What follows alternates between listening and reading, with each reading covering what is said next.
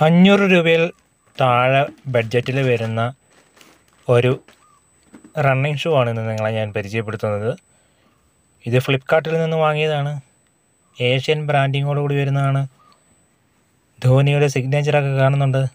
ഇത് ഒമ്പതാണ് സൈസ് അപ്പോൾ ഞാനിത് വാങ്ങിക്കാനുള്ള കാരണം നിങ്ങളിപ്പം ഒരു ബ്രാൻഡഡ് നല്ലൊരു ബ്രാൻഡഡിന്റെ ഒക്കെ പുറകെ പോകുകയാണെങ്കിൽ ഏകദേശം രണ്ടായിരം മൂവായിരം ഈ റേഞ്ചിലായിരിക്കണം ഒരു റണ്ണിങ് ഷൂവിന്റെ വില. പക്ഷേ ഇത് നമുക്കൊരു അഞ്ഞൂറ് രൂപയിൽ താഴെ മാത്രം കൊടുത്താൽ മതി. അപ്പോൾ ഇതിന്റെ ഒരു ബിൽഡ് ക്വാളിറ്റി തന്നെ നോക്കുക നല്ലൊരു ബിൽഡ് ക്വാളിറ്റിയാണ് ഇതിന്റെ സൈസും കാര്യങ്ങളൊക്കെ ഇവിടെ തന്നെ എഴുതിയിട്ടുണ്ട്. ഇതിന്റെ സോൾ നോക്കുക. നല്ല റബ്ബർ തന്നെയാണ്. നമ്മൾ സ്ലിപ്പാകാതെയൊക്കെ നമുക്ക് മഴക്കാലത്തൊക്കെ ഉപയോഗിക്കാൻ പറ്റിയ നല്ല സോളാണ് മൊത്തത്തിൽ നല്ലൊരു ബിൽഡ് ക്വാളിറ്റി ഉണ്ട്. എവിടെയും പൊളിഞ്ഞിട്ടൊന്നുമില്ല. ഇത് ഗം ഉപയോഗിച്ചല്ല ഇത് ഒട്ടിച്ചിരിക്കുന്നത്. ഇത് ഹീറ്റ് ചെയ്ത് ഗമ്മും ഉപയോഗിക്കും. അതേപോലെ തന്നെ ഹീറ്റ് ചെയ്ത് കംപ്രസ് ചെയ്ത് മെഷീനിലാണ് ഇത് മോൾഡ് മോൾഡ് ചെയ്ത് മെഷീനിൽ എടുക്കുന്ന സംഭവമാണ്. അതുകൊണ്ട് നിങ്ങൾക്ക് സൈഡിലൊന്നും പൊളിഞ്ഞു വരത്തൊന്നുമില്ല.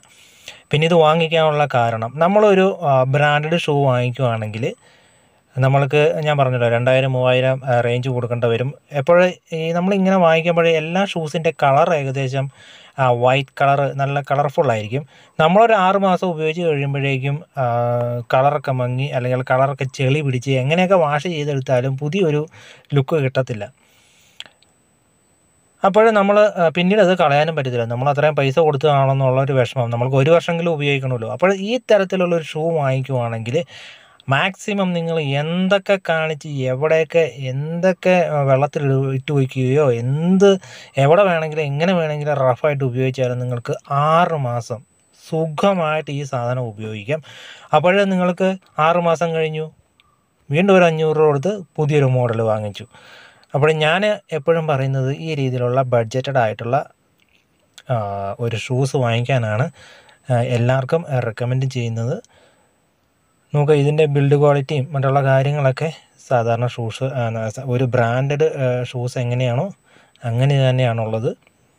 അപ്പോൾ ഈ തരത്തിലുള്ള കാര്യങ്ങളൊക്കെ വാങ്ങിക്കുമ്പോൾ എല്ലാവരും ഈ കാര്യങ്ങളൊക്കെ ശ്രദ്ധിക്കുക.